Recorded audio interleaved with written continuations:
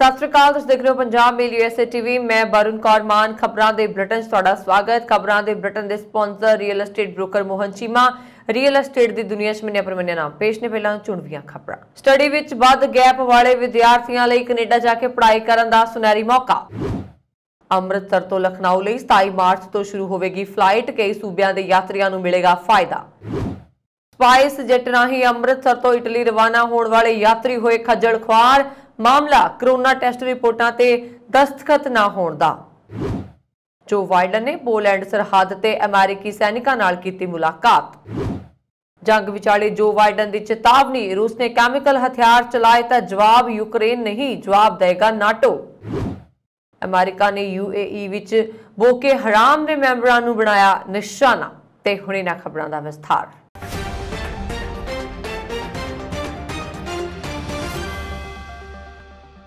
Canada ਜਾ ਕੇ MBA ਦੀ ਪੜ੍ਹਾਈ ਕਰਨ ਦੀ ਯੋਜਨਾ ਬਣਾ ਰਹੇ ਨੌਜਵਾਨਾਂ ਲਈ ਖੁਸ਼ਖਬਰੀ ਹੈ। ਦਰਅਸਲ ਹੁਣ ਤੁਸੀਂ ਪੜ੍ਹਾਈ ਵਿੱਚ ਗੈਪ ਦੇ ਬਾਵਜੂਦ ਵੀ ਕੈਨੇਡਾ ਜਾ ਕੇ ਐਮਬੀਏ ਦੀ ਪੜ੍ਹਾਈ ਕਰ ਸਕਦੇ ਹੋ। ਇਸ ਲਈ ਨੌਜਵਾਨਾਂ ਕੋਲ ਗ੍ਰੈਜੂਏਸ਼ਨ ਦੀ ਡਿਗਰੀ ਲਾਜ਼ਮੀ ਹੋਣੀ ਚਾਹੀਦੀ ਹੈ। ਨੌਜਵਾਨਾਂ ਦੇ ਕੋਲ ਐਮਬੀਏ ਦੀ ਐਡਮਿਸ਼ਨ ਲੈਣ ਲਈ ਅਕੈਡਮਿਕ ਵਿੱਚ ਘੱਟੋ ਘੱਟ 6.5 ਬੈਂਡ ਹੋਣੇ ਚਾਹੀਦੇ ਨੇ। ਦੱਸਦੀ ਹੈ ਕਿ ਐਮਬੀਏ 2 ਸਾਲ ਦੀ ਹੋਏਗੀ, ਉਸ ਤੋਂ ਬਾਅਦ 3 ਸਾਲ ਦਾ ਵਰਕ ਪਰਮਿਟ ਮਿਲਦਾ ਹੈ। ਉੱਥੇ ਹੀ ਜੇਕਰ ਤੁਸੀਂ ਵਿਆਹੇ ਹੋ ਤਾਂ ਤੁਸੀਂ ਪੜ੍ਹਾਈ ਦੌਰਾਨ ਆਪਣੇ ਪਤੀ ਪਤਨੀ ਨੂੰ ਵਰਕ ਪਰਮਿਟ ਤੇ ਬੁਲਾ ਸਕਦੇ ਹੋ।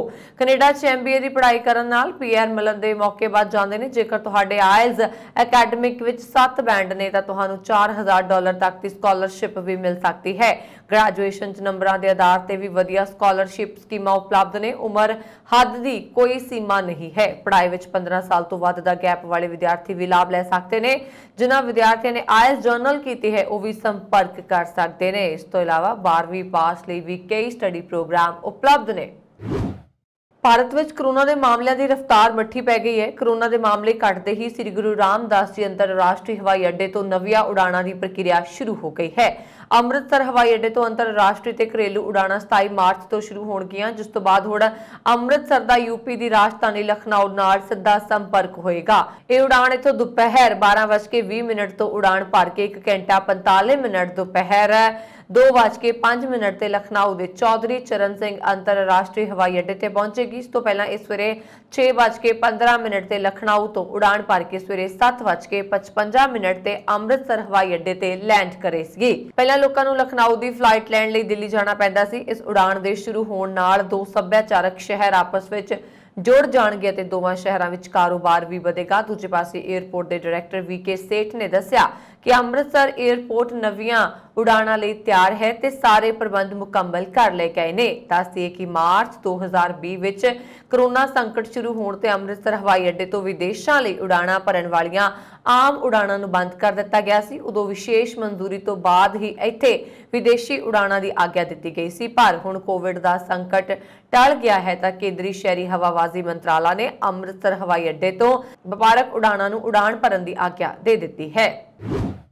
ਅੰਮ੍ਰਿਤਸਰ ਦੇ ਸ੍ਰੀ ਗੁਰੂ ਰਾਮਦਾਸ ਜੀ ਕੌਮਾਂਤਰੀ ਹਵਾਈ ਅੱਡਾ ਰਾਜਾ ਸਾਂਸੀ ਤੋਂ ਸਪਾਈਸ ਜੈਟ ਦੀ ਉਡਾਣ ਰਾਹੀਂ ਇਟਲੀ ਰਵਾਨਾ ਹੋਣ ਵਾਲੇ 39 ਯਾਤਰੀਆਂ ਨੇ 4 ਘੰਟੇ ਖੱਜਲ ਹੋਣ ਉਪਰੰਤ ਰਵਾਨਾ ਹੋਣ ਤੋਂ ਵਾਂਝਿਆ ਰਹਿਣ ਤੇ 에ਅਰਲਾਈਨ ਖਿਲਾਫ ਨਾਅਰੇਬਾਜ਼ੀ ਕੀਤੀ ਗਈ। ਕਰੋਨਾ ਟੈਸਟ ਰਿਪੋਰਟਾਂ ਤੇ ਦਸਤਖਤ ਨਾ ਹੋਣ ਕਾਰਨ 에ਅਰਲਾਈਨ ਦੇ ਸਟਾਫ ਨੇ ਬੋਰਡਿੰਗ ਪਾਸ ਦੇਣ ਤੋਂ ਮਨਾਹੀ ਕਰ ਦਿੱਤੀ ਸੀ, ਜਿਸ ਕਾਰਨ ਯਾਤਰੀ ਭਾਰੀ ਖੱਜਲ ਖੁਆਰ ਹੋਏ ਅਤੇ ਉਹਨਾਂ ਨੂੰ ਮਜਬੂਰਨ ਘਰਾਂ ਨੂੰ ਵਾਪਸ ਪਰਤਣਾ ਪਿਆ।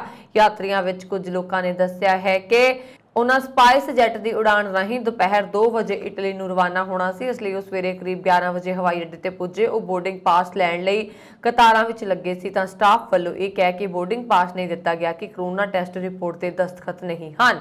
ਇਸ ਲਈ ਬੋਰਡਿੰਗ ਪਾਸ ਕਾਊਂਟਰ ਨੇੜੇ ਬੈਠੇ ਕਰਮਚਾਰੀਆਂ ਕੋਲੋਂ ਦਸਤਖਤ ਕਰਵਾਏ ਜਾਣ, ਪਰ ਦਸਤਖਤ ਕਰਨ ਵਾਲਾ ਕਰਮਚਾਰੀ ਦੁਪਹਿਰ 12 ਤੋਂ ਬਾਅਦ ਆਪਣੀ ਸੀਟ ਤੇ ਬੈਠਾ ਹੀ ਨਹੀਂ ਸੀ। ਇੱਕ ਹੋਰ ਯਾਤਰੀ ਨੇ ਦੱਸਿਆ ਹੈ ਕਿ ਉਸ ਕੋਲ ਕਰੋਨਾ ਟੈਸਟ ਰਿਪੋਰਟ ਤੇ ਦਸਤਖਤ ਵੀ ਹੋਏ, ਪਰ ਫਿਰ ਵੀ ਹੋਰ ਬਹਾਨੇਬਾਜ਼ੀ ਕਰਕੇ ਬੋਰਡਿੰਗ ਪਾਸ ਨਹੀਂ ਦਿੱਤਾ ਗਿਆ, ਜਿਸ ਤੇ ਉਕਤ ਸਾਰੇ ਯਾਤਰੀਆਂ ਨੇ ਹਵਾਈ ਅੱਡੇ ਦੇ ਅੰਦਰ ਹੱਲਾ ਗੋਲਾ ਕੀਤਾ ਤੇ ਨਾਅਰੇਬਾਜ਼ੀ ਵੀ ਕੀਤੀ। ਉਕਤ ਯਾਤਰੀਆਂ ਨੇ 에ਅਰਲਾਈਨ ਕੋਲੋਂ ਮੰਗ ਕੀਤੀ ਹੈ ਕਿ ਮਹਿੰਗੇ ਮੁੱਲ ਦੀਆਂ ਟਿਕਟਾਂ ਦੀ ਬਣਦੀ ਰਕਮ ਵਾਪਸ ਕੀਤੀ ਜਾਵੇ ਜਾਂ ਫਿਰ ਇਹਨਾਂ ਟਿਕਟਾਂ ਰਾਹੀਂ ਦੂਸਰੀ ਉਡਾਣ ਤੇ ਇਟਲੀ ਭੇਜਣ ਦਾ ਪ੍ਰਬੰਧ ਕੀਤਾ ਜਾਵੇ। ਯੂਕਰੇਨ ਵਿੱਚ ਚੱਲ ਰਹੀ ਜੰਗ ਦੌਰਾਨ ਗਵਾਂਡੀ ਦੇਸ਼ ਪੋਲੈਂਡ ਪੁੱਜੇ ਅਮਰੀਕੀ ਰਾਸ਼ਟਰਪਤੀ ਜੋ ਬਾਈਡਨ ਨੇ ਸ਼ਰਨਾਰਥੀ ਯੂਕਰੇਨੀ ਨਾਗਰਿਕਾਂ ਨਾਲ ਮੁਲਾਕਾਤ ਕੀਤੀ ਹੈ। ਵਾਈਡਨ ਨੇ ਇਹਨਾਂ ਸ਼ਰਨਾਰਥੀਆਂ ਨੂੰ ਹਰ ਸੰਭਵ ਮਦਦ ਦਾ ਭਰੋਸਾ ਦਿੱਤਾ। ਯੂਕਰੇਨ ਤੋਂ ਭੱਜ ਕੇ ਸਭ ਤੋਂ ਵੱਧ 22 ਲੱਖ ਲੋਕ ਪੋਲੈਂਡ ਆਏ ਨੇ। ਵਾਈਡਨ ਨੇ ਪੋਲੈਂਡ ਵਿੱਚ ਤਾਇਨਾਤ ਅਮਰੀਕੀ ਫੌਜੀਆਂ ਨਾਲ ਵੀ ਮੁਲਾਕਾਤ ਕੀਤੀ ਹੈ ਤੇ ਉਹਨਾਂ ਦੀ ਹੌਸਲਾ ਅਫਜ਼ਾਈ ਕੀਤੀ। ਅਮਰੀਕੀ ਰਾਸ਼ਟਰਪਤੀ ਨੇ ਸਰਹੱਦੀ ਸ਼ਹਿਰ ਵਿੱਚ ਪੋਲੈਂਡ ਦੇ ਹਮਰੁਤਵਾ ਆਂਦਰਜ਼ੇਜ਼ ਡੂਡਾ ਨਾਲ ਬੈਠਕ ਵੀ ਕੀਤੀ ਹੈ। ਗੱਲਬਾਤ ਵਿੱਚ ਸ਼ਰਨਾਰਥੀਆਂ ਲਈ ਸਹਾਇਤਾ ਦੇ ਨਾਲ ਹੀ ਦੁਬੱਲੇ ਮਾਮਲਿਆਂ ਤੇ ਚਰਚਾ ਕੀਤੀ ਗਈ। ਵਾਈਡਨ ਨੇ ਤਣਾਅ ਦੇ ਦੌਰ ਵਿੱਚ ਡੂਡਾ ਨੂੰ ਹਰ ਤਰ੍ਹਾਂ ਦੀ ਮਦਦ ਦਾ ਭਰੋਸਾ ਵੀ ਦਿੱਤਾ। ਰੂਸ ਯੂਕਰੇਨ ਜੰਗ ਦਾ 31ਵਾਂ ਦਿਨ ਹੈ। ਅਮਰੀਕੀ ਰਾਸ਼ਟਰਪਤੀ ਜੋ ਬਾਈਡਨ ਨੇ ਵੀਰਵਾਰ ਨੂੰ ਇਸ ਸੰਕਟ ਤੇ ਬਰਲਜ਼ ਵਿੱਚ ਨਾਟੋ ਸੰਮੇਲਨ ਨੂੰ ਸੰਬੋਧਨ ਕੀਤਾ। ਬਾਈਡਨ ਨੇ ਕਿਹਾ ਕਿ ਜੇਕਰ ਰੂਸੀ ਰਾਸ਼ਟਰਪਤੀ ਵਲਾਦੀਮਿਰ ਪੁਤਰ ਨੇ ਯੂਕਰੇਨ ਖਿਲਾਫ ਰਸਾਇਣਕ ਹਥਿਆਰਾਂ ਦੀ ਵਰਤੋਂ ਕੀਤੀ, ਤਾਂ ਨਾਟੋ ਜਵਾਬ ਦੇਗਾ। ਰੂਸ ਜਿਸ ਤਰ੍ਹਾਂ ਦਾ ਇਸਤੇਮਾਲ ਕਰੇਗਾ, ਨਾਟੋ ਵੀ ਉਸੇ ਤਰ੍ਹਾਂ ਹਥਿਆਰਾਂ ਨਾਲ ਜਵਾਬ ਦੇਗਾ।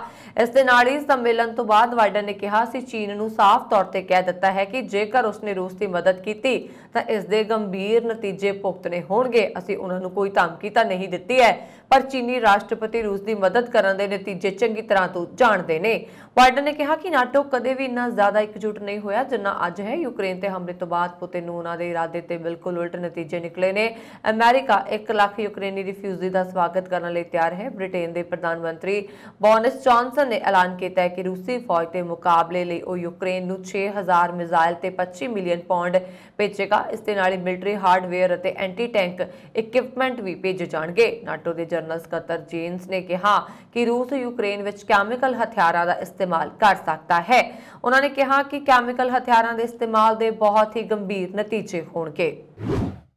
ਵਾਈਡਨ ਪ੍ਰਸ਼ਾਸਨ ਨੇ ਨਾਈਜੀਰੀਆ ਸਥਿਤ ਬੋਕੋ ਹਰਾਮ ਅੱਤਵਾਦੀ ਸਮੂਹ ਦਾ ਸਮਰਥਨ ਕਰਨ ਵਾਲੇ ਸੰਯੁਕਤ ਅਰਬ ਅਮੀਰਾਤ ਵਿੱਚ ਇੱਕ ਵਿੱਤੀ ਨੈਟਵਰਕ ਦੇ 6 ਕਥਿਤ ਮੈਂਬਰਾਂ ਨੂੰ ਨਿਸ਼ਾਨਾ ਬਣਾਇਆ ਹੈ। ਖਜ਼ਾਨਾ ਵਿਭਾਗ ਨੇ ਸ਼ੁੱਕਰਵਾਰ ਨੂੰ ਐਲਾਨ ਕੀਤਾ। ਵਿਭਾਗ ਨੇ ਇੱਕ ਪ੍ਰੈਸ ਰਿਲੀਜ਼ ਵਿੱਚ ਕਿਹਾ ਕਿ ਅਮਰੀਕੀ ਵਿਦੇਸ਼ ਮੰਤਰੀ ਵਿਭਾਗ ਦੇ ਵਿਦੇਸ਼ ਜਾਇਦਾਦ ਕੰਟਰੋਲ ਦਫ਼ਤਰ ਨੇ ਨਾਈਜੀਰੀਆ ਸਥਿਤ ਅੱਤਵਾਦੀ ਸਮੂਹ ਬੋਕੋ ਹਰਾਮ ਨਾਲ ਜੁੜੇ 6 ਵਿਅਕਤੀਆਂ ਨੂੰ ਨਾਮਜ਼ਦ ਕੀਤਾ ਹੈ। ਸਾਰੇ ਵਿਅਕਤੀ ਨਾਈਜੀਰੀਆ ਵਿੱਚ ਬੋਕੋ ਵਿਦਰੋਹੀਆਂ ਲਈ ਫੰਡ ਇਕੱਠਾ ਕਰਨ, ਸਮੱਗਰੀ ਸਹਾਇਤਾ ਪ੍ਰਦਾਨ ਕਰਨ ਲਈ ਅਤੇ ਸੰਯੁਕਤ ਅਰਬ ਅਮੀਰਾਤ ਵਿੱਚ ਬੋਕੋ ਹਰਾਮ ਜੇਲ ਸਥਾਪਿਤ ਕਰਨ ਦੇ ਦੋਸ਼ੀ ਪਾਏ ਗਏ ਨੇ। ਰਿਲੀਜ਼ ਵਿੱਚ ਕਿਹਾ ਗਿਆ ਹੈ ਕਿ ਓਐਫਏਸੀ ਅਬਦੁਲ ਰਹਿਮਾਨ ਅਤੇ ਅਦੋ ਮੂਸਾ ਸਲਿਊ ਯੂਸਫ ਅਦਮੂ ਬਸ਼ੀਰ ਅਲੀ ਯੂਸਫ ਮੁਹੰਮਦ ਇਬਰਾਹਿਮ ਅਲੀ ਅਸਹਤਨ ਅਤੇ ਸੁਰਾਜੋ ਅਬੂਕਰ ਮੁਹੰਮਦ ਨੂੰ ਕਾਰਜਕਾਰੀ ਹੁਕਮ 13224 ਤਹਿਤ ਸੌਂਪਿਆ ਹੈ। ਇਹ ਹੁਕਮ ਅੱਤਵਾਦੀ ਨੇਤਾਵਾਂ ਅਤੇ ਅੱਤਵਾਦੀ ਸਮੂਹਾਂ ਦੇ ਅਧਿਕਾਰੀਆਂ ਨੂੰ ਨਿਸ਼ਾਨਾ ਬਣਾਉਂਦਾ ਹੈ। ਯੂਏਈ ਦੇ ਫੈਡਰਲ ਕੋਰਟ ਆਫ ਅਪਲਾਈ ਨੇ ਦੁਬਈ ਤੋਂ ਨਾਈਜੀਰੀਆ ਦੇ ਬੋਕੋ ਹਰਾਮ ਨੂੰ 7,82,000 ਡਾਲਰ ਭੇਜਣ ਲਈ ਸਾਰੇ 6 ਨੂੰ ਦੋਸ਼ੀ ਠਹਿਰਾਇਆ। ਮਾਮਲੇ ਵਿੱਚ ਸਾਲੀਹੂ ਯੂਸਫ ਅਦਮੂ ਅਤੇ ਸੁਰਾਜ਼ੋ ਅਬੂ ਬਕਰ ਮੁਹੰਮਦ ਨੂੰ ਉਮਰ ਕੈਦ ਦੀ ਸਜ਼ਾ ਸੁਣਾਈ ਗਈ ਹੈ। ਅਮਰੀਕਾ ਦੇ ਰਾਸ਼ਟਰਪਤੀ ਜੋ ਬਾਈਡਨ ਨੇ ਸ਼ੁੱਕਰਵਾਰ ਨੂੰ ਯੂਰਪ ਨੂੰ ਤਰਲ ਕੁਦਰਤੀ ਗੈਸ ਦੀ ਵਧਾਈ ਖੇਪ ਦਾ ਐਲਾਨ ਕਰਨ ਦੀ ਉਮੀਦ ਹੈ। ਯੂਕਰੇਨ ਤੇ ਹਮਲੇ ਤੋਂ ਬਾਅਦ ਰੂਸ ਦੇ ਇੰਧਨ ਤੋਂ ਯੂਰਪ ਦੀ ਨਿਰਭਰਤਾ ਘਟਾਉਣ ਲਈ ਇਹ ਇੱਕ ਲੰਬੇ ਸਮੇਂ ਦੀ ਪਹਿਲਕਦਮੀ ਦਾ ਹਿੱਸਾ ਹੈ। ਬਾਈਡਨ ਆਪਣੀ 4 ਦਿਨੀ ਯਾਤਰਾ ਦੇ ਅੰਤਿਮ ਪੜਾਅ ਵਿੱਚ ਪੋਲੈਂਡ ਲਈ ਰਵਾਨਾ ਹੋਣ ਤੋਂ ਕੁਝ ਸਮਾਂ ਪਹਿਲਾਂ ਯੂਰੋਪੀਅਨ ਯੂਨੀਅਨ ਦੀ ਕਾਰਜਕਾਰੀ ਬ੍ਰਾਂਚ ਦੀ ਮੁਖੀ ਉਰਸੂਲਾ ਵਾਨ ਡੇਰ ਦੇ ਨਾਲ ਇੱਕ ਇਸ ਮੁੱਦੇ ਤੇ ਚਰਚਾ ਕਰਨ ਵਾਲੇ ਨੇ। ਇਸ ਹਫ਼ਤੇ ਦੀ ਸ਼ੁਰੂਆਤ ਵਿੱਚ ਵਾਨ ਡੇਰ ਨੇ ਕਿਹਾ ਸੀ ਕਿ ਅਸੀਂ ਅਗਲੀਆਂ ਦੋ ਸਰਦੀਆਂ ਲਈ ਵਾਧੂ ਸਪਲਾਈ ਨੂੰ ਲੈ ਕੇ ਵਚਨਬੱਧਤਾ ਕਾਇਮ ਰੱਖਣ ਦਾ ਟੀਚਾ ਬਣਾ ਰਹੇ ਨੇ। ਬਾਈਡਨ ਦੇ ਰਾਸ਼ਟਰੀ ਸੁਰੱਖਿਆ ਸਲਾਹਕਾਰ ਜੇਕ ਸੁਲੀਵਨ ਨੇ ਵੀ ਹਾਲ ਵਿੱਚ ਪੱਤਰਕਾਰਾਂ ਨੂੰ ਕਿਹਾ ਸੀ ਕਿ ਅਮਰੀਕਾ ਯੂਰਪ ਵਿੱਚ ਗੈਸ ਦੀ ਸਪਲਾਈ ਨੂੰ ਜਲਦੀ ਵਧਾਉਣਾ ਚਾਹੁੰਦਾ ਹੈ। ਰੂਸ ਲਈ ਇੰਧਨ ਆਮਦਨ ਦਾ ਇੱਕ ਵੱਡਾ ਸਰੋਤ ਹੈ। ਯੂਰੋਪੀਅਨ ਯੂਨੀਅਨ 'ਚ ਇਸਤੇਮਾਲ ਹੋਣ ਵਾਲੀ ਲਗਭਗ 40% ਕੁਦਰਤੀ ਗੈਸ ਰੂਸ ਤੋਂ ਸਪਲਾਈ ਕੀਤੀ ਜਾਂਦੀ ਹੈ। ਯੂਕਰੇਨ ਵਿੱਚ ਅਚਾਨਕ ਹਮਲਾ ਕਰਨ ਦੇ ਇੱਕ ਮਹੀਨੇ ਬਾਅਦ ਰੂਸ ਨੇ ਰਣਨੀਤਿਕ ਵਿੱਚ ਹੈਰਾਨੀਜਨਕ ਬਦਲਾਅ ਦਾ ਐਲਾਨ ਕੀਤਾ, ਜਿਸ ਵਿੱਚ ਜ਼ੋਰ ਦੇ ਕੇ ਕਿਹਾ ਗਿਆ ਹੈ ਕਿ ਹੁਣ ਉਹ ਬਾਗੀਆਂ ਦੇ ਕਬਜ਼ੇ ਵਾਲੇ ਡੋਨਵਾਸ ਖੇਤਰ ਤੇ ਧਿਆਨ ਕੇਂਦਰਿਤ ਕਰੇਗਾ। ਇਸ ਸਮੇਂ ਜਦ ਰੂਸ ਪੂਰੇ ਯੂਕਰੇਨ ਵਿੱਚ ਹਮਲੇ ਕਰ ਰਿਹਾ, ਉਸ ਸਮੇਂ ਸਿਰਫ ਇੱਕ ਖੇਤਰ ਵਿੱਚ ਆਪਰੇਸ਼ਨ ਨੂੰ ਅੰਜਾਮ ਦੇਣ ਦਾ ਫੈਸਲਾ ਹੈਰਾਨ ਕਰਨ ਵਾਲਾ ਹੈ। ਹਾਲਾਂਕਿ ਰੂਸ ਵੱਲੋਂ ਬਿਆਨ ਦਿੰਦੇ ਹੋਏ ਕਿਹਾ ਗਿਆ ਹੈ ਕਿ ਯੂਕਰੇਨ ਯੁੱਧ ਦਾ ਪਹਿਲਾ ਪੜਾਅ ਖਤਮ ਹੋ ਰਿਹਾ ਅਤੇ ਹੁਣ ਯੁੱਧ ਦਾ ਦੂਜਾ ਪੜਾਅ ਸ਼ੁਰੂ ਹੋ ਰਿਹਾ। ਹੁਣ ਸਵਾਲ ਉੱਠ ਰਹੇ ਨੇ ਕਿ ਰੂਸ ਯੁੱਧ ਵਿੱਚ ਹਾਰ ਦੀ ਕਗਾਰ ਤੇ ਹੈ। ਰੂਸ ਦੇ ਜਨਰਲ ਸਟਾਫ ਦੇ ਉਪ ਮੁਖੀ ਸਰਗੇਈ ਰੁਡਸੋਕੀ ਨੇ ਕਾਫੀ ਅਹਿਮ ਬਿਆਨ ਦਿੰਦੇ ਹੋਏ ਕਿਹਾ ਕਿ ਆਪਰੇਸ਼ਨ ਦੇ ਪਹਿਲੇ ਪੜਾਅ ਦੇ ਮੁੱਖ ਮਕਸਦਾਂ ਨੂੰ ਆਮ ਤੌਰ ਤੇ ਪੂਰਾ ਕੀਤਾ ਗਿਆ ਹੈ। ਯੂਕਰੇਨ ਦੀ ਫੌਜ ਦੀ ਯੁੱਧ ਸਮਰੱਥਾ ਕਾਫੀ ਘੱਟ ਹੋ ਗਈ ਹੈ, ਜਿਸ ਕਾਰਨ ਮੁੱਖ ਟੀਚਾ ਡੋਨਬਾਸ ਦੀ ਆਜ਼ਾਦੀ ਪ੍ਰਾਪਤ ਕਰਨ ਤੇ ਸਾਡੀ ਮੁੱਖ ਕੋਸ਼ਿਸ਼ਾਂ ਤੇ ਧਿਆਨ ਕੇਂਦਰਿਤ ਕਰਨਾ ਸੰਭਵ ਹੋ ਗਿਆ। ਰੂਸੀ ਫੋਰਸ ਦੇ ਜਨਰਲ ਸਟਾਫ ਦੇ ਉਪ ਮੁਖੀ ਸਰਗੇਈ ਨੇ ਇਸ ਦੇ ਨਾਲ ਹੀ ਅਗਲੇ ਪੜਾਅ ਦੀ ਸ਼ੁਰੂਆਤ ਕਰਨ ਦੀ ਪੁਸ਼ਟੀ ਕੀਤੀ ਹੈ। ਰੂਸ ਵੱਲੋਂ ਯੂਕਰੇਨ ਤੇ ਜਾਰੀ ਹਮਲੇ ਨੂੰ ਲੈ ਕੇ ਅਮਰੀਕਾ ਸਮੇਤ ਕਈ ਦੇਸ਼ ਪੁਤਿਨ ਨੂੰ ਘੇਰਨ ਵਿੱਚ ਲੱਗੇ ਹੋਏ ਨੇ। ਬੈਲਜੀਅਮ ਦੀ ਰਾਜਧਾਨੀ ਵਿੱਚ ਸ਼ੁੱਕਰਵਾਰ ਨੂੰ G7 ਦੇਸ਼ ਦੀ ਅਹਿਮ ਮੀਟਿੰਗ ਹੋਈ। G7 ਦੇਸ਼ਾਂ ਦੇ ਨੇਤਾਵਾਂ ਨੇ ਕਿਹਾ ਕਿ ਬੈਲਾਰੂਸ ਵਿੱਚ ਰੂਸੀ ਰਾਸ਼ਟਰਪਤੀ ਵਲਾਦੀਮੀਰ ਪੁਤਿਨ, ਲੁਕਾਸ਼ੇਂਕੋ ਸ਼ਾਸਨ ਨੂੰ ਯੂਕਰੇਨ ਵਿੱਚ ਉਹਨਾਂ ਦੀ ਹਮਲਾਵਾਰ ਨੀਤੀ ਲਈ ਜ਼ਿੰਮੇਵਾਰ ਠਹਿਰਾਉਣ ਵਿੱਚ ਕੋਈ ਕਸਰ ਨਹੀਂ ਛੱਡਣਗੇ। ਨਾਲ ਹੀ G7 ਨੇਤਾਵਾਂ ਨੇ ਆਪਣੇ ਸੰਯੁਕਤ ਬਿਆਨ ਵਿੱਚ ਕਿਹਾ ਕਿ ਇਸ ਦੇ ਲਈ ਅਸੀਂ ਆਪਣੇ ਸਹਿਯੋਗੀਆਂ ਅਤੇ ਭਾਈਵਾਲਾਂ ਨਾਲ ਮਿਲ ਕੇ ਕੰਮ ਕਰਨਾ ਜਾਰੀ ਰੱਖਾਂਗੇ। ਇਸ ਸੰਯੁਕਤ ਬਿਆਨ ਵਿੱਚ G7 ਨੇਤਾਵਾਂ ਦੀ ਮੀਟਿੰਗ ਤੋਂ ਬਾਅਦ ਆਇਆ ਹੈ, ਜੋ ਅਜਿਹੇ ਸਮੇਂ ਵਿੱਚ ਆਇਆ, ਜਦੋਂ ਰੂਸ ਅਤੇ ਯੂਕਰੇਨ ਵਿਚਾਲੇ ਸੰਘਰਸ਼ ਵਿੱਚ ਆਮ ਨਾਗਰਿਕਾਂ ਦੀਆਂ ਮੌਤਾਂ ਤੇਜ਼ੀ ਨਾਲ ਵੱਧ ਰਹੀਆਂ ਨੇ। ਰੂਸੀ ਹਮਲੇ ਨੂੰ ਬੇਲੋੜਾ ਬਿਨਾਂ ਕਾਰਨ ਅਤੇ ਨਜਾਇਜ਼ ਦੱਸਦੇ ਹੋਏ G7 ਨੇਤਾਵਾਂ ਨੇ ਕਿਹਾ ਕਿ ਰੂਸੀ ਅਗਵਾਈ 24 ਫਰਵਰੀ 2022 ਨੂੰ ਯੂਕਰੇਨ ਦੇ ਖੇਤਰ ਵਿੱਚ ਸ਼ੁਰੂ ਹੋਈਆਂ। ਫੌਜੀ ਮੁਹਿੰਮਾਂ ਨੂੰ ਰੱਦ ਕਰਨ ਲਈ ਕਮਾਂਤਰੀ ਕੋਰਟ ਦੇ ਹੁਕਮਾਂ ਦੀ ਤੁਰੰਤ ਪਾਲਣਾ ਕਰਨਾ ਮਜਬੂਰ ਹੈ। ਅਮਰੀਕਾ ਦੇ ਸੂਬੇ ਨੇਵਾਡਾ ਦੇ ਇੰਟਰਸਟੇਟ 15 ਅਤੇ ਸੈਂਟਰੋਜ਼ ਪਾਰਕਵੇ ਵਿਖੇ ਸ਼ੁੱਕਰਵਾਰ ਨੂੰ ਇੱਕ ਟਮਾਟਰਾਂ ਨਾਲ ਭਰੇ ਹੋਏ ਟਰੱਕ ਟ੍ਰੇਲਰ ਵਿੱਚੋਂ ਪੁਲਿਸ ਨੇ 230 ਪੌਂਡ ਸ਼ੱਕੀ ਕੋਕੀਨ ਨਾਲ ਦੋ ਭਾਰਤੀ ਮੂਲ ਦੇ ਟਰੱਕ ਡਰਾਈਵਰਾਂ ਨੂੰ ਗ੍ਰਿਫਤਾਰ ਕੀਤਾ। ਇਨ੍ਹਾਂ ਡਰਾਈਵਰਾਂ ਦੀ ਪਛਾਣ ਨਾਨਕ ਸਿੰਘ ਅਤੇ ਚੰਦਰ ਪ੍ਰਕਾਸ਼ ਵਜੋਂ ਹੋਈ ਹੈ। ਪੁਲਿਸ ਨੇ ਉਹਨਾਂ ਤੇ ਬਣਦੇ ਦੋਸ਼ ਆਇਦ ਕੀਤੇ ਨੇ। ਪੁਲਿਸ ਮੁਤਾਬਕ ਉਹਨਾਂ ਦੇ ਟਰੱਕ ਟ੍ਰੇਲਰ ਨੂੰ ਜਦੋਂ ਜਾਂਚ ਲਈ ਰੋਕਿਆ ਗਿਆ ਤਾਂ ਉਹ ਘਬਰਾ ਗਏ, ਜਿਸ ਮਗਰੋਂ ਸ਼ੱਕ ਹੋਣ ਤੋਂ ਪੁਲਿਸ ਨੇ ਇਹਨਾਂ ਦੇ ਟਰੱਕ ਟ੍ਰੇਲਰ ਦੀ ਤਲਾਸ਼ੀ ਲਈ ਤਲਾਸ਼ੀ ਦੌਰਾਨ ਪੁਲਿਸ ਨੂੰ ਟਮਾਟਰਾਂ ਨਾਲ ਲੱਦੇ ਟ੍ਰੇਲਰ ਟਰੱਕ ਵਿੱਚੋਂ 230 ਪੌਂਡ ਕੋਕੀਨ ਬਰਾਮਦ ਹੋਈ। ਮੌਕੇ ਤੇ ਫੜੀ ਗਈ ਇਸ ਚੱਕੀ ਕੋਕੀਨ ਦੀ ਬਾਜ਼ਾਰੀ ਕੀਮਤ 10.5 ਮਿਲੀਅਨ ਅਮਰੀਕੀ ਡਾਲਰ ਦੇ ਕਰੀਬ ਦੱਸੀ ਜਾਂਦੀ ਹੈ। ਇਹ ਬਰਾਮਦਗੀ ਦੇ K9 ਸੂਇਆ ਡੌਗ ਦੇ ਸਕੁਐਡ ਦੇ ਅਫਸਰਾਂ ਅਤੇ ਲਾਸ ਵਿਕਾਸ ਦੀ ਮੈਟਰੋਪੋਲੀਟਨ ਦੇ ਪੁਲਿਸ ਵਿਭਾਗ ਦੀ ਸਾਂਝੀ ਟੀਮ ਨੇ ਕੀਤੀ ਹੈ। ਇਸ ਮਾਮਲੇ ਵਿੱਚ ਸੁਰੱਖਿਆ ਅਧਿਕਾਰੀ ਜਾਂਚ ਵਿੱਚ ਲੱਗੇ ਹੋਏ ਨੇ। ਅਮਰੀਕਾ ਸਮੇਤ ਦੁਨੀਆ ਦੇ 70 ਦੇਸ਼ ਹਰ ਸਾਲ ਪਤਝੜ ਅਤੇ ਬਸੰਤ ਵਿੱਚ ਆਪਣੀਆਂ ਘੜੀਆਂ ਦਾ ਸਮਾਂ ਬਦਲਦੇ ਨੇ। ਇਸੇ ਤਰ੍ਹਾਂ 27 ਮਾਰਚ ਨੂੰ ਯੂਰਪ ਦੀਆਂ ਸਾਰੀਆਂ ਘੜੀਆਂ ਮੌਜੂਦਾ ਸਮੇਂ ਤੋਂ 1 ਘੰਟਾ ਅੱਗੇ ਹੋ ਜਾਣਗੀਆਂ। ਦੱਸ ਦਈਏ ਕਿ 2001 ਤੋਂ ਹਰ ਸਾਲ ਅਕਤੂਬਰ ਅਤੇ ਮਾਰਚ ਵਿੱਚ ਗਰਮੀਆਂ ਅਤੇ ਸਰਦੀਆਂ ਵਿੱਚ ਯੂਰਪ ਦੀਆਂ ਘੜੀਆਂ ਦਾ ਸਮਾਂ ਬਦਲਦਾ ਹੈ। ਇਹਨਾਂ ਘੜੀਆਂ ਦਾ ਸਮਾਂ ਬਦਲਣ ਤੋਂ ਭਾਵ ਸਰਦੀਆਂ ਲਈ ਘੜੀਆਂ ਦਾ ਸਮਾਂ ਅਕਤੂਬਰ ਵਿੱਚ 1 ਘੰਟਾ ਪਿੱਛੇ ਕਰ ਦਿੱਤਾ ਜਾਂਦਾ ਹੈ, ਜਦਕਿ ਗਰਮੀਆਂ ਲਈ ਮਾਰਚ ਵਿੱਚ ਘੜੀਆਂ ਦਾ ਸਮਾਂ 1 ਘੰਟਾ ਅੱਗੇ ਕਰ ਦਿੱਤਾ ਜਾਂਦਾ ਹੈ। ਇਹ ਸਮਾਂ ਅਕਤੂਬਰ ਅਤੇ ਮਾਰਚ ਦੇ ਅਖੀਰਲੇ ਐਤਵਾਰ ਸਵੇਰੇ ਬਦਲਦਾ ਹੈ। ਹਰ ਸਾਲ ਮਾਰਚ ਮਹੀਨੇ ਦੇ ਆਖਰੀ ਐਤਵਾਰ ਸਵੇਰੇ 2 ਵਜੇ ਯੂਰਪ ਦੀਆਂ ਸਾਰੀਆਂ ਘੜੀਆਂ ਦਾ ਸਮਾਂ 1 ਘੰਟੇ ਲਈ ਅੱਗੇ ਕਰ ਦਿੱਤਾ ਜਾਂਦਾ ਹੈ। ਉੱਥੇ ਹੀ ਜਿਹੜੀਆਂ ਘੜੀਆਂ ਤਾਂ ਕੰਪਿਊਟਰਾਈਜ਼ਡ ਨੇ, ਉਹ ਤਾਂ ਆਪਣੇ ਆਪ ਸਾਲ ਵਿੱਚ ਇੱਕ ਵਾਰ 1 ਘੰਟੇ ਲਈ ਕਦੇ ਅੱਗੇ ਅਤੇ ਕਦੇ ਪਿੱਛੇ ਚਲੀਆਂ ਜਾਂਦੀਆਂ ਨੇ, ਪਰ ਜਿਹੜੀਆਂ ਕੰਪਿਊਟਰਾਈਜ਼ਡ ਘੜੀਆਂ ਨਹੀਂ ਨੇ, ਉਹਨਾਂ ਨੂੰ ਸਭ ਲੋਕ ਆਪ ਅੱਗੇ ਪਿੱਛੇ ਕਰਦੇ ਨੇ। ਅਮਰੀਕਾ ਨੇ ਦੋਹਾ ਵਿੱਚ ਤਾਲਿਬਾਨ ਨਾਲ ਮੀਟਿੰਗਾਂ ਰੱਦ ਕਰ ਦਿੱਤੀਆਂ ਨੇ। ਅਮਰੀਕੀ ਵਿਦੇਸ਼ ਵਿਭਾਗ ਦੇ ਬੁਲਾਰੇ ਨੇ ਸ਼ੁੱਕਰਵਾਰ ਨੂੰ ਕਿਹਾ ਕਿ ਇਸਲਾਮਿਕ ਸ਼ਾਸਨ ਵੱਲੋਂ ਲੜਕੀਆਂ ਦੇ ਸੈਕੰਡਰੀ ਸਕੂਲਾਂ ਨੂੰ ਬੰਦ ਕਰਨ ਦੇ ਫੈਸਲੇ ਤੋਂ ਬਾਅਦ ਦੋਹਾ ਵਿੱਚ ਤਾਲਿਬਾਨ ਨਾਲ ਯੋਜਨਾਬੱਧ ਮੀਟਿੰਗਾਂ ਨੂੰ ਰੱਦ ਕਰ ਦਿੱਤਾ ਗਿਆ। ਅਮਰੀਕੀ ਵਿਦੇਸ਼ ਮੰਤਰੀ ਐਂਟਨੀ ਬਲਿੰਕਨ ਨੇ ਲੜਕੀਆਂ ਲਈ ਸੈਕੰਡਰੀ ਸਕੂਲ ਬੰਦ ਕਰਨ ਲਈ ਤਾਲਿਬਾਨ ਦੀ ਸਖਤ ਆਲੋਚਨਾ ਕੀਤੀ ਹੈ ਅਤੇ ਪਾਬੰਦੀਆਂ ਦੇ ਸਮਰਥਨ ਵਿੱਚ ਦਲੀਲਾਂ ਨੂੰ ਰੱਦ ਕਰ ਦਿੱਤਾ। ਬਲਿੰਕਨ ਨੇ ਕਿਹਾ, ਸਿੱਖਿਆ ਮਨੁੱਖੀ ਅਧਿਕਾਰ ਹੈ। ਤਾਲਿਬਾਨ ਨੇ ਵਾਅਦਾ ਕੀਤਾ ਸੀ ਕਿ ਕੁੜੀਆਂ ਨੂੰ ਹਰ ਪੱਧਰ ਦੀ ਸਿੱਖਿਆ ਦਿੱਤੀ ਜਾਏਗੀ। ਉਹ ਆਪਣੇ ਵਾਅਦਿਆਂ ਤੋਂ ਪਿੱਛੇ ਹਟ ਗਿਆ। ਲੜਕੀਆਂ ਅਤੇ ਔਰਤਾਂ ਸੈਕੰਡਰੀ ਸਕੂਲਾਂ ਵਿੱਚ ਪਹੁੰਚ ਰਹੀਆਂ ਨੇ ਅਤੇ ਉਹਨਾਂ ਨੂੰ ਅਗਲੇ ਨੋਟਿਸ ਤੱਕ ਸਕੂਲ ਨਾ ਆਉਣ ਲਈ ਕਹਿ ਕੇ ਵਾਪਸ ਮੋੜਿਆ ਜਾ ਰਿਹਾ। ਉਹਨਾਂ ਨੇ ਕਿਹਾ ਕਿ ਅਮਰੀਕਾ ਉਹਨਾਂ ਕੁੜੀਆਂ ਤੇ ਉਹਨਾਂ ਦੇ ਪਰਿਵਾਰਾਂ ਨਾਲ ਖੜਾ ਹੈ, ਜੋ ਸਿੱਖਿਆ ਨੂੰ ਅਫਗਾਨਿਸਤਾਨ ਦੀ ਤਰੱਕੀ ਅਤੇ ਖੁਸ਼ਹਾਲੀ ਦੇ ਸਾਧਨ ਵਜੋਂ ਦੇਖਦੇ ਨੇ। ਰੂਸ ਤੇ ਯੂਕਰੇਨ ਵਿਚਾਲੇ ਜੰਗ ਸ਼ੁਰੂ ਹੋਏ ਨੂੰ ਹੁਣ 31 ਦਿਨ ਹੋ ਗਏ ਨੇ, ਪਰ ਰੂਸ ਯੂਕਰੇਨ ਨੂੰ ਨਿਸ਼ਾਨਾ ਬਣਾਉਣਾ ਜਾਰੀ ਰੱਖਦਾ ਹੈ। ਇਸ ਦੇ ਨਾਲ ਹੀ ਵਿਸ਼ਵ ਸਿਹਤ ਸੰਗਠਨ ਨੇ ਕਿਹਾ ਕਿ 24 ਫਰਵਰੀ ਨੂੰ ਯੂਕਰੇਨ ਦੇ ਖਿਲਾਫ ਰੂਸ ਦੀ ਪੂਰੀ ਜੰਗ ਸ਼ੁਰੂ ਹੋਣ ਤੋਂ ਬਾਅਦ ਯੂਕਰੇਨ ਵਿੱਚ ਹਸਪਤਾਲਾਂ, ਐਂਬੂਲੈਂਸਾਂ ਤੇ ਡਾਕਟਰਾਂ ਤੇ 70 ਤੋਂ ਵੱਧ ਮਾਮਲੇ ਹੋ ਚੁੱਕੇ ਨੇ। ਇਸ ਦੌਰਾਨ ਰੂਸ ਮੁਤਾਬਕ ਯੂਕਰੇਨ ਯੁੱਧ ਵਿੱਚ ਹੁਣ ਤੱਕ 1351 ਰੂਸੀ ਫੌਜੀ ਆਪਣੀ ਜਾਨ ਗਵਾ ਚੁੱਕੇ ਨੇ। ਹਾਲਾਂਕਿ ਯੂਕਰੇਨ ਦਾ ਦਾਅਵਾ ਹੈ ਕਿ ਉਹਨਾਂ ਦੇ ਹਮਲੇ ਵਿੱਚ ਰੂਸ ਦੇ ਜ਼ਿਆਦਾ ਸੈਨਿਕ ਮਾਰੇ ਗਏ ਨੇ। ਯਮਨ ਦੇ ਹਾਊਤੀ ਵਿਦਰੋਹੀਆਂ ਨੇ ਫਾਰਮੂਲਾ 1 ਇਵੈਂਟ ਤੋਂ ਪਹਿਲਾਂ ਸ਼ੁੱਕਰਵਾਰ ਨੂੰ ਸਾਊਦੀ ਅਰਬ ਦੇ ਜ਼ਦਾਹਾ ਸ਼ਹਿਰ ਵਿੱਚ ਇੱਕ ਤੇਲ ਡਿਪੂ ਤੇ ਹਮਲਾ ਕੀਤਾ। ਇਸ ਤੋਂ ਬਾਅਦ ਸਾਊਦੀ ਦੀ ਅਗਵਾਈ ਵਾਲੇ ਗੱਠਜੋੜ ਨੇ ਯਮਨ ਦੇ ਸਨਾ ਅਤੇ ਹੋਦੀ ਦਾ ਤੇ ਜਵਾਬੀ ਹਮਲੇ ਕੀਤੇ ਨੇ।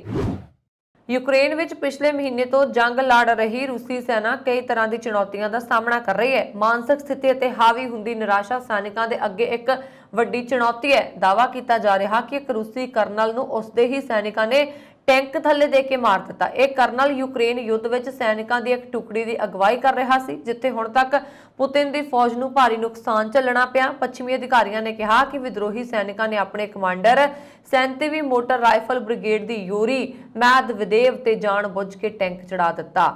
ਸਨ ਦੀ ਰਿਪੋਰਟ ਅਨੁਸਾਰ ਇਸ ਹਫ਼ਤੇ ਦੇ ਸ਼ੁਰੂ ਵਿੱਚ ਸਾਹਮਣੇ ਆਈਆਂ ਤਸਵੀਰਾਂ ਵਿੱਚ ਕਰਨਲ ਸਟ੍ਰੈਚਰ ਤੇ ਹਸਪਤਾਲ ਜਾਂਦੇ ਹੋਏ ਦੇਖੇ ਗਏ, ਜਦ ਕੀਵ ਦੇ ਕੋਲ ਮਰਕੀ ਵਿੱਚ ਜ਼ਖਮੀ ਹੋ ਗਏ। ਕਿਹਾ ਗਿਆ ਸੀ ਕਿ ਉਹਨਾਂ ਦੇ ਪੈਰ ਤੇ ਟੈਂਕ ਚੜ ਗਿਆ, ਪਰ ਉਹ ਬਚਣ ਵਿੱਚ ਕਾਮਯਾਬ ਹੋ ਗਏ। ਹੁਣ ਪੱਛਮੀ ਅਧਿਕਾਰੀਆਂ ਦਾ ਮੰਨਣਾ ਹੈ ਕਿ ਗੰਭੀਰ ਸੱਟਾਂ ਦੇ ਚਲਦਿਆਂ ਉਹਨਾਂ ਦੀ ਮੌਤ ਹੋ ਗਈ ਹੈ। ਇੱਕ ਅਧਿਕਾਰੀ ਨੇ ਕਿਹਾ ਕਿ ਬ੍ਰਿਗੇਡ ਕਮਾਂਡਰ ਆਪਣੇ ਹੀ ਸੈਨਿਕਾਂ ਦੇ ਹੱਥੀਂ ਮਾਰੇ ਗਏ ਨੇ।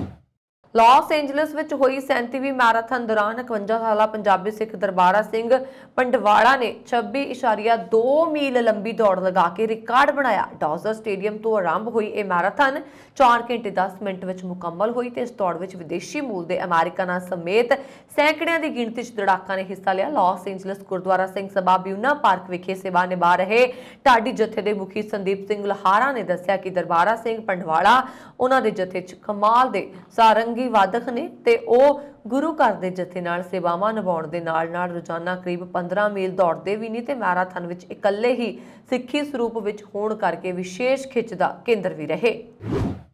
ਪਿਟਸਬਰਗ ਵਿੱਚ ਪਿਛਲੇ ਸਾਲ ਅਕਤੂਬਰ 'ਚ ਸਾਈਕਲ ਚੋਰੀ ਦੇ ਮਾਮਲੇ 'ਚ ਗ੍ਰਿਫਤਾਰ ਇੱਕ ਵਿਅਕਤੀ ਦੀ ਹੋਈ ਮੌਤ ਦੀ ਅੰਦਰੂਨੀ ਜਾਂਚ ਵਿੱਚ ਪੰਜ ਪੁਲਿਸ ਅਧਿਕਾਰੀਆਂ ਨੂੰ ਦੋਸ਼ੀ ਪਾਇਆ ਗਿਆ, ਜਿਨ੍ਹਾਂ ਨੂੰ ਬਰਖਾਸਤ ਕਰਨ ਦਾ ਐਲਾਨ ਕੀਤਾ ਗਿਆ। ਪਬਲਿਕ ਸੇਫਟੀ ਡਾਇਰੈਕਟਰ ਲੀ ਸ਼ਮਡਿਟ ਨੇ ਮੇਅਰ ਐਡ ਗਿਨੀ ਨਾਲ ਪ੍ਰੈਸ ਕਾਨਫਰੰਸ ਵਿੱਚ ਗੱਲਬਾਤ ਕਰਦਿਆਂ ਕਿਹਾ ਕਿ ਸੰਬੰਧਿਤ ਪੁਲਿਸ ਅਧਿਕਾਰੀ 14 ਦਿਨਾਂ ਦੇ ਅੰਦਰ ਖੇਤਰੀ ਕੌਂਸਲ ਵਿੱਚ ਆਪਣੀ ਬਰਖਾਸਤਗੀ ਨੂੰ ਚੁਣੌਤੀ ਦੇ ਸਕਦੇ ਨੇ। ਉਹਨਾਂ ਨੇ ਕਿਹਾ ਕਿ ਇਹ ਪੁਲਿਸ ਅਧਿਕਾਰੀ ਸੇਵਾ ਮੁਕਤ ਹੋਣ ਦਾ ਰਾਹ ਵੀ ਚੁਣ ਸਕਦੇ ਨੇ। ਇਸ ਮਾਮਲੇ ਵਿੱਚ ਤਿੰਨ ਹੋਰ ਪੁਲਿਸ ਅਧਿਕਾਰੀਆਂ ਨੂੰ ਨੌਕਰੀ ਜਾਰੀ ਰੱਖਣ ਦੀ ਆਗਿਆ ਦਿੱਤੀ ਗਈ ਹੈ। ਪਰ ਮਿਲੀ ਜਾਣਕਾਰੀ ਅਨੁਸਾਰ ਇਹਨਾਂ ਨੂੰ ਦੁਬਾਰਾ ਸਿਖਲਾਈ ਦਿੱਤੀ ਜਾਏਗੀ। ਬਰਖਾਸਤ ਕੀਤੇ ਜਾਣ ਵਾਲੇ ਅਧਿਕਾਰੀਆਂ ਦੇ ਨਾਮ ਜਨਤਕ ਨਹੀਂ ਕੀਤੇ ਗਏ ਨੇ। ਪਬਲਿਕ ਸੇਫਟੀ ਵਿਭਾਗ ਵੱਲੋਂ ਜਾਰੀ ਬਿਆਨ ਅਨੁਸਾਰ 54 ਸਾਲਾ ਜਿਮ ਰੋਜ਼ਰਸ ਨੂੰ 13 ਅਕਤੂਬਰ ਨੂੰ ਪਿਟਸਬਰਗ ਪੁਲਿਸ ਨੇ ਹਿਰਾਸਤ ਵਿੱਚ ਲਿਆ ਸੀ। ਹਿਰਾਸਤ ਵਿੱਚ ਉਸ ਨੂੰ ਬਿਜਲੀ ਦਾ ਝਟਕਾ ਦੇ ਦਿੱਤਾ ਗਿਆ, ਜਿਸ ਦੌਰਾਨ ਉਹ ਬੇਹੋਸ਼ ਹੋ ਗਿਆ। ਉਸ ਨੂੰ ਮਰਸੀ ਹਸਪਤਾਲ ਦਾਖਲ ਕਰਵਾਇਆ ਗਿਆ, ਜਿੱਥੇ ਉਹ ਦਮ ਤੋੜ ਗਿਆ। ਕੈਨੇਡਾ ਦੇ ਇਮੀਗ੍ਰੇਸ਼ਨ ਵਿਭਾਗ ਦੀ ਰਿਪੋਰਟ ਅਨੁਸਾਰ ਮੌਜੂਦਾ ਦੌਰ ਵਿੱਚ ਦੁਨੀਆ ਦੇ ਬਹੁਤ ਸਾਰੇ ਦੇਸ਼ਾਂ ਤੋਂ ਨੌਜਵਾਨ ਮੁੰਡੇ ਅਤੇ ਕੁੜੀਆਂ ਪੜ੍ਹਾਈ ਦੇ ਵੀਜ਼ੇ ਨਾਲ ਕੈਨੇਡਾ ਪਹੁੰਚ ਰਹੇ ਨੇ ਅਤੇ ਉਹਨਾਂ ਵਿੱਚ ਸਭ ਤੋਂ ਵੱਧ ਗਿਣਤੀ ਭਾਰਤ ਦੇ ਨੌਜਵਾਨਾਂ ਦੀ ਹੀ ਹੈ। ਇਸ ਸਮੇਂ ਹੋਰਨਾਂ ਦੇਸ਼ਾਂ ਤੋਂ ਕੈਨੇਡਾ ਨੂੰ ਮਿਲ ਰਹੇ ਨੌਜਵਾਨਾਂ ਦੀ ਗਿਣਤੀ ਬੀਤੇ ਸਾਰੇ ਸਮਿਆਂ ਨਾਲੋਂ ਰਿਕਾਰਡ ਤੋੜ ਹੱਦ ਤੱਕ ਵੱਧ ਚੁੱਕੀ ਹੈ। 2021 ਦੌਰਾਨ ਵਿਦੇਸ਼ਾਂ 'ਚ ਲਗਭਗ 4.5 ਲੱਖ ਵਿਦੇਸ਼ੀ ਵਿਦਿਆਰਥੀ ਕੈਨੇਡਾ 'ਚ ਗਏ ਜਿਨ੍ਹਾਂ 'ਚੋਂ 2,17,140 ਵਿਦਿਆਰਥੀ ਭਾਰਤ ਤੋਂ ਨੇ। ਕਰੋਨਾ ਵਾਇਰਸ ਮਹਾਮਾਰੀ ਤੋਂ ਪਹਿਲਾਂ ਭਾਵ ਮਾਰਚ 2020 ਤੱਕ ਹਰੇਕ ਸਾਲ ਤਕਰੀਬਨ 4 ਲੱਖ ਵਿਦੇਸ਼ੀ ਵਿਦਿਆਰਥੀ ਕੈਨੇਡਾ ਪਹੁੰਚਦੇ ਸੀ। 2015 ਦੇ ਮੁਕਾਬਲੇ ਕੈਨੇਡਾ ਨੂੰ ਇੱਕ ਸਾਲ ਵਿੱਚ ਜਾਂਦੇ ਵਿਦੇਸ਼ੀ ਵਿਦਿਆਰਥੀਆਂ ਦੀ ਗਿਣਤੀ ਦੁੱਗਣੀ ਹੋ ਗਈ ਹੈ। ਇਸ ਸਮੇਂ ਦੇਸ਼ ਭਰ ਦੇ ਵੱਖ-ਵੱਖ ਵਿਦਿਅਕ ਅਦਾਰਿਆਂ 'ਚ ਲਗਭਗ 6.5 ਲੱਖ ਵਿਦੇਸ਼ੀ ਵਿਦਿਆਰਥੀ ਦਾਖਲ ਨੇ। ਇਮੀਗ੍ਰੇਸ਼ਨ ਮੰਤਰੀ ਸੀਨ ਫਰੇਜ਼ਰ ਨੇ ਕਿਹਾ ਕਿ ਵਿਦੇਸ਼ਾਂ ਤੋਂ ਸਟੱਡੀ ਪਰਮਿਟ ਪ੍ਰਵਾਨ ਕਰਵਾ ਕੇ ਕੈਨੇਡਾ ਦੇ ਵਿਦਿਅਕ ਅਦਾਰੇ 'ਚ ਆਨਲਾਈਨ ਆਪਣੀ ਪੜ੍ਹਾਈ ਕਰਨ ਵਾਲੇ ਵਿਦੇਸ਼ੀ ਵਿਦਿਆਰਥੀਆਂ ਨੂੰ ਓਪਨ ਵਰਕ ਪਰਮਿਟ ਦੇਣ ਦੀ ਛੋਟ 31 ਅਗਸਤ 2022 ਤੱਕ ਜਾਰੀ ਰਹੇਗੀ। ਇਹ ਸਨ ਹੁਣ ਤੱਕ ਦੀਆਂ ਖਬਰਾਂ। ਮੈਨੂੰ ਵਰੁਣ ਕੌਰ ਮਾਨ ਨੂੰ ਦਿਵਾ ਗਿਆ ਹੋਰ ਖਬਰਾਂ ਦੇ ਲਈ ਸਾਡਾ YouTube ਚੈਨਲ ਪੰਜਾਬ ਮੇਰੀ ਯੂਐਸਏ ਟੀਵੀ ਜ਼ਰੂਰ ਸਬਸਕ੍ਰਾਈਬ ਕਰੋ। ਸਤਿ ਸ਼੍ਰੀ ਅਕਾਲ।